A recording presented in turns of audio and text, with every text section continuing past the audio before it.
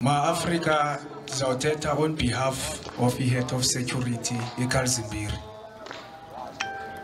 Ndizawuqala ndithethe ngosuku lwanamhlanje esilibongazayo le-Apla Day nele-Africa Day. Kunenkokheli elaphalalayo igazi kubo ngenxa yokuba bafuna sikhululeke belwela ama-Afrika.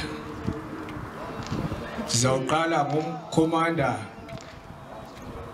omkhulu we-APLA uGondlo ndilandele ngom-Afrika uSabelo Phama ndilandele ngom-Afrika uZefenia Mothupeng ndilandele ngomagagula ndilandele ngonqandela.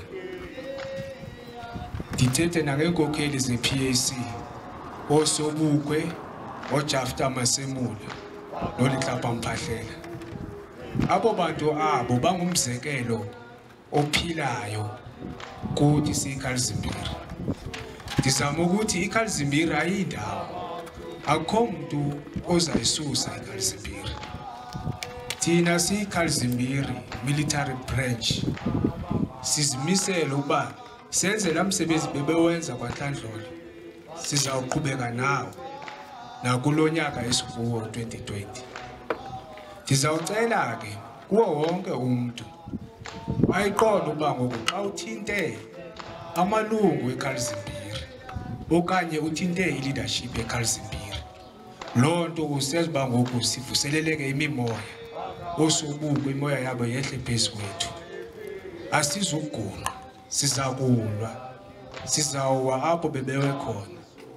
Ndicele futhi ukuba ndiyayazi uba kunamabhulu amnyama apha ngaphakathi kubhoqo. Siwabekile emehlweni siwajongile.